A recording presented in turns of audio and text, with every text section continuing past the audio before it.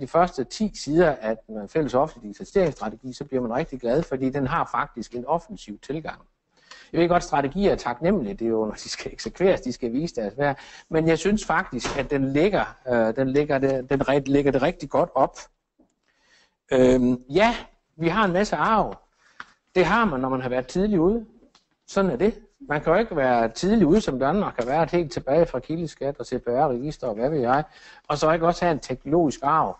Og selvfølgelig begynder den at gøre ondt øh, og kræver også noget mere handling. Øh, og sådan er det.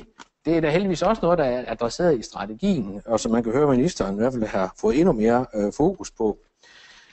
Det, der måske nok er det allervigtigste, synes jeg, skal se på kodexet, det er, at vi må til at tage alle, eller gøre op med den der med, at mere af det samme bringer ikke, os ikke det rigtige sted hen.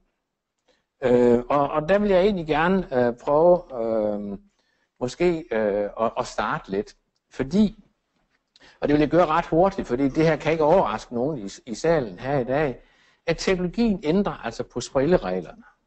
Det er jo det hele vores Danmark 3.0-projekt handlede om i Dansk IT, som vi startede i 2009 Øh, og som vi udgav i 2011 øh, vores øh, publikation om, hvornår springer Danmark ud som del af Fordi de her digitale tsunami-kræfter, jamen det kommer til at ændre spillereglerne, og det er godt i gang. Vi udgav øh, i sommer også for Dansk IT øh, et, et oplæg til øh, skal vi sige, digital lovgivning, eller hvordan lovgiver vi i et digitalt samfund. Altså vi er nødt til at tænke det her, altså for ligesom forretningsregler, forretningsmodeller, værdikæder udfordres øh, i den private sektor, så er den offentlige sektor altså ikke sådan en osteklokke, hvor, hvor der ikke sker ind i. Så ultimativt måden, vi kommer til at lovgive på, er vores påstand også bliver påvirket af digitaliseringen. Jeg skal tale om det i eftermiddag på en stor jurakonference, lige præcis omkring det her. Så det her rokker ved rigtig mange ting. Og det går ikke over. Altså vi kan godt stille os ud ved, ved vandet og sige den tsunamibølge, tsunami-bølge, stop, men vi kan ikke stoppe tidevand. Vi bliver nødt til at forholde os til den. Det, der også sker, det viser Rambøl meget tydeligt i deres øh, årlige, øh, og i særdeles her i år, i deres publikation, at strategier begynder at blive digitalt tænkt. Det er ikke noget, vi laver ved siden af. Det er noget, som vi tænker ind i vores forretningsstrategier, og ultimativt vil forretningsstrategierne blive tænkt digitalt. Det er ikke noget, vi klistrer på. Det er vi ikke endnu, men, men vi kan begynde at se den kontur af de her det udfordrer vores kompetencer, det har en slide på lige om lidt. Det udfordrer massivt vores øh, kompetencer. Øh, og det udfordrer et nyt mindset. Øh, og det fordrer nye tilgange, også i samarbejdet, mellem leverandører og mellem kunder og mellem rådgiver. Øh, og det, det, det er noget af det, kodexet øh, prøver at kigge på. Lad os bare lige slå et enkelt nedslag på, på, på kompetencer. Jeg ved godt, den er et år gammel, den her. Altså, ifølge IT-praksis, øh, øh, så øh, var det i 2014, der sagde hver anden leder, at det kræver andre kompetencer at bidrage til forretningsudvikling.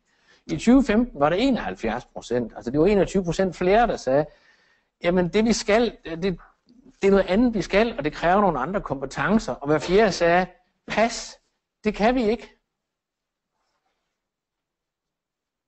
Så der kan vi jo lige starte også med at sige, og kigge ind og sige, hvad er det for noget, vi overhovedet skal, og har vi faktisk mindset og kompetencer til det. Øhm, for nu så lige dvæle lidt i den der med, hvorfor kan det her overhovedet gøre en forskel? Øh, og nu kommer sådan lidt, måske lidt, lidt ikke salt i sår, men præcis, lad lige prøve at, at, at kigge lidt ud i bag i tiden. I 2001 hvor altså, jeg sad for bordenden i øh, et, øh, et lille udvalg på fire personer, der udgav øh, fem holdninger til offentlige IT-projekter.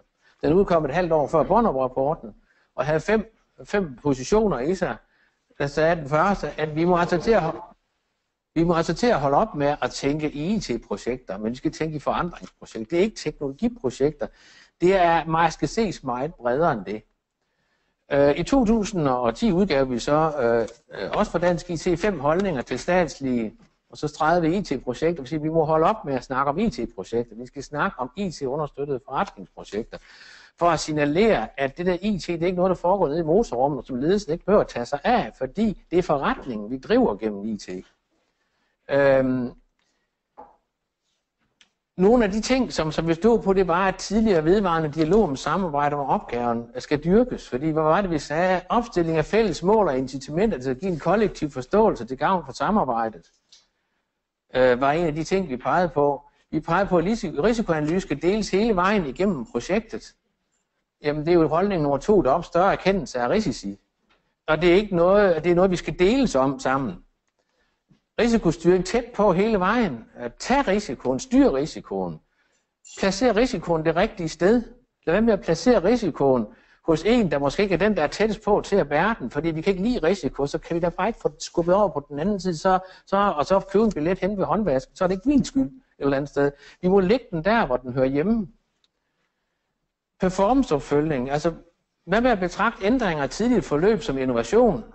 Sene ændringer, det skyldes som helt fejltagelser, vi har gjort i fortiden. Så, så lad os prøve at dyrke, at det faktisk er helt dejligt at, at arbejde på, hvor vi får mange ændringer i starten, for det er sådan set positivt. For det der har vi jo ikke støbt tingene i beton endnu. Øhm, styre efter fælles mål, efter de, rigtige, de vigtigste forretningsmæssige krav. Jamen, hvad var det, vi prøvede at sige der? Jamen, der sagde vi sådan noget med, at måske var det vigtigt at begynde at tænke lidt mere på værdigenerering. Altså tildele penge i takt med, at prisen kendes. Målet er vigtigere end rammen. Altså, det nytter ikke noget at have et bevillingssystem, der hviler noget på et tidspunkt, hvor vi faktisk ikke aner, hvad vi taler om. Fordi øh, så er det jo, at vi begynder, øh, hvad skal vi sige, at, at, at lave nogle ting, hvor vi faktisk ikke aner, hvad det koster, og hvem skal bære risikoen for det, så aner vi ikke helt, hvad vi har med at gøre. Og her var nogle af, de bud, som vi kom på det på det tidspunkt, øh, som man kunne kigge på. Man kan selvfølgelig godt blive lidt travlt, når man ser, at det er noget, der er skrevet i 2001, og noget, der er skrevet i 2010, og nu står vi i 2017. Øhm, ja.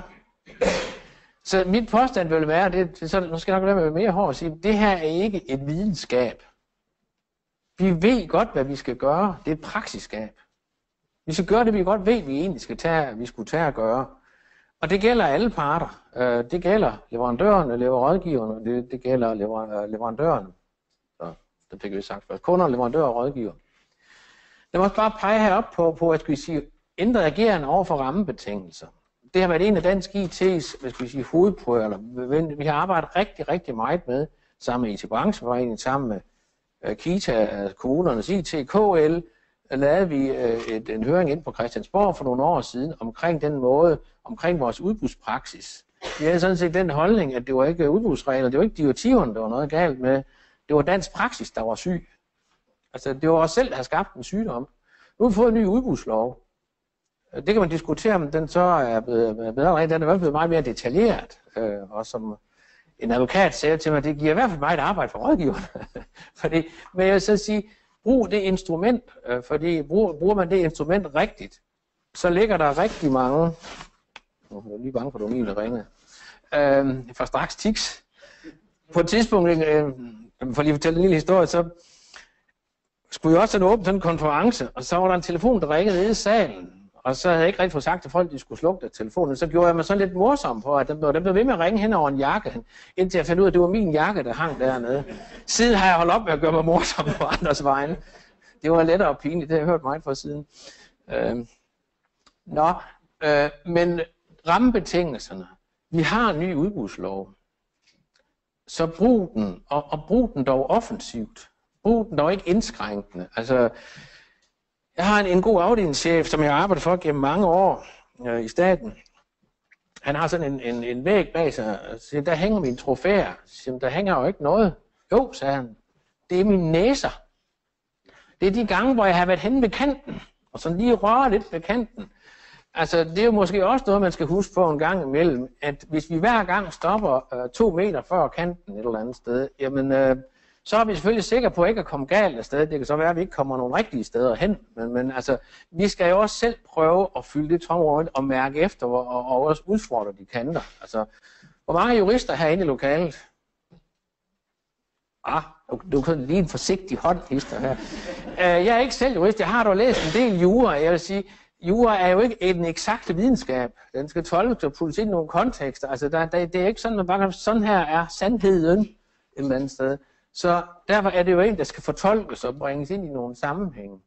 Jeg prøver ikke her at sige, at man skal lave civil ulydighed, men man skal måske prøve en gang imellem at lave en fortolkning, der er lidt mere åben, end, end sådan den, der er stopper to meter øh, fra grænsen. Modenhedskrav snakker vi meget om i 2001. Jeg var selv med til på, øh, på, med, for, øh, på vegne af den IT, som den øh, hvor jeg repræsenterede hvad skal vi, Dansk IT i, og var for, ansvarlig for Dansk IT forhandling omkring K01 og K02 i sin tid, det er mange år siden, men hvor vi også efterfølgende arbejdede med modenhedskraven og modenheds, hvad skal vi sige, analyse, hvor man egentlig begge parter skulle lave en form for åbningsbalance og sige, hvad, vi er jo nødt til at vide, hvor vi står hen i forhold til den. Det nytter nødt ikke, hvis den ene står her, og den anden står der. Vi er nødt til at nivellere lidt, så vi taler samme sprog, så vi også ved, hvad vi har med at gøre, øh, sådan at vi er lidt i balance med, med hinanden. Øhm, lad mig slutte den her rejse, ved at bare sige, jamen på trods af det her, eller man kan også sige på grund af det her, så må man også sige, så må det jo for udfordre, eller så, så fordrer det jo endnu mere, at vi nu går ud og gør noget ved det. Øh, og det kan kun ske ved, at vi går ud og gør det, og gør det sammen, og tager de her hvad skal jeg sige, udfordringer op. Øh, og som sagt, Danmarks position, synes jeg, forpligter os. Øhm, hold da op, det er jo øh, tekstet for hørehæmmede, det derude. Eller, det var, nå, nu skal jeg lige fortælle, hvad det står, for der går et eller andet galt i teksten derude. Øh, det, den skal vise, er, at den, den grønne viser øh, øh, sådan set, hvordan øh, de offentlige topledere har udviklet sig i forhold til øh, og hvad skal vi sige, have mere, være mere ekstern orienteret i deres forretningsstrategitænkning versus at være intern orienteret. Det vil sige, at i 2011 så var der 18 procent af toplederne, der havde en overgennemsnitlig vægt over mod at tænke eksternt, øh, hvad skal vi, strategisk, altså tænke i værdikæder, tænke i stakeholders, tænke i, hvad skal vi sige, det omgivende, hvad skal vi dele, som, som vi er en del af vores, vores digitale økosystem osv. Se, da vi har fået nogle ledere, der er blevet meget mere, som der også står her, vi har fået nogle ledere og topledere, der har mere fokus øh, ud af forruden, altså ud mod, mod, mod omverdenen, ud mod de borgere og virksomheder, som er sat til for myndigheds, at lave myndighedsudøvelse for at lave service overfor. Det er rigtig positivt. Vi har også fået nogle offentlige ledere, det er den sorte, som i deres økonomiske tænkning tænker mere på værdiskabelse end på kostminimering. På trods af, at de ikke skal besparelser osv., så tænker de dog mere og mere i at skabe værdi. Det er super positivt, fordi lige præcis de to kendetegn betyder også, at de tænker faktisk mere i, altså eller dem der gør det, får også bedre digitale øh, gevinster, eller får, får mere forretningsværdi ud af deres øh, digitale investeringer. Det der er den kedelige af den, det er den med den hoppet til sidst, det er deres risikovillighed. Øhm, hvor, der, hvor, hvor der i i 2011 var 28 procent, der havde en oversnitlig gennemsnitlig risiko, så er den faldet til 16 procent. Så vi har nogle topledere, der er risikoaverse. Og det er klart, øh, det bliver ikke bedre, når man lukker op i avisen, at det hele er skidt, og, og, og at det er galt, og de snyder hinanden, og alt muligt andet. Ikke? Det bliver man jo ikke, øh, får man ikke større risikovillighed af. Men det er et problem for disruptive teknologier. Det rimer altså ikke ret godt på risikoaversion. Det kan vi vel godt ret hurtigt blive enige om. Så her har vi en, en udfordring. Jeg skal gøre øh, slut mit indlæg ved bare at sige en, en simpel hvad skal vi sige, måde at tænke på det her. Vil sige, vi må have lært efterhånden, at det her big IT, det er nok ikke lige vejen frem. Vi er nødt til at tænke anderledes. Det her er en simpel figur, øh, som viser, jo flere iterationer vi laver, jo mindre bliver vores øh, hvad skal vi sige, variant, øh, vores estimat, om det er i tid eller om det er ressourcer, der skal til at gennemføre nogle ting. Og det der lidt af pointen, det er, også det vi skrev tilbage i 2001, hvad med at lave nogle små, hvad skal vi sige, øh, prøveboringer herude, øh, at blive klogere. Altså hvis du ikke ved, hvor du skal hen, og hvis du ikke ved, hvordan du kommer derhen, hvad med så at prøve noget og blive klogere? frem for at prøve at lave et kæmpe projekt, hvor du prøver at beskrive dig ud af det, uden du egentlig har viden nok. I starten må vi bare vide, vi ved jo ikke engang, hvad vi ikke ved. Så hvad med at prøve at tage det alvorligt? Når vi kommer ud på den anden side, det er måske også derfor, at vi nu skal tænke det købmandskabsagtigt, så må vi sige, det er måske her, vi skal lave små kontrakter. Når vi engang er kommet herhen på den her side, og dermed vist i figuren her, jamen så skal vi måske bruge lean thinking. I starten skal vi måske mere bruge lean startup thinking, fordi det er der, vi faktisk ikke ved nok. Øh, så den måde at begynde at tænke på, vil måske skabe nogle helt anderledes projekter. Jeg vil bare slutte af med den her. Øh, det er den eneste reklame, der er for Dansk IT i dag. Øh, Udover at vi laver arrangementet. Men i, øh, i eftermiddag kl. 5, øh, der mødes øh, Danmark 3.0 Tænketank 2 for sidste gang, øh, og der udgiver vi bogen Ledelse i D-land. Og jeg håber også, at den kan være med til at skabe noget inspiration til, hvad det egentlig vil sige at være leder i et digitalt samfund. Det er derfor det, vi har prøvet at arbejde med i halvanden år, og prøve at beskrive noget om, hvad er vilkårene for at være leder, og hvad kræver det af lederne, og hvad give dem nogle, prøve, øh, prøve at give dem nogle, nogle mindset til, hvordan man kan agere øh, i den kontekst. Det var jo tid som indledning, øh, og jeg tror, at Codex kan gøre et stort forskel, hvis vi går ud og gør det sammen. Det kræves det også.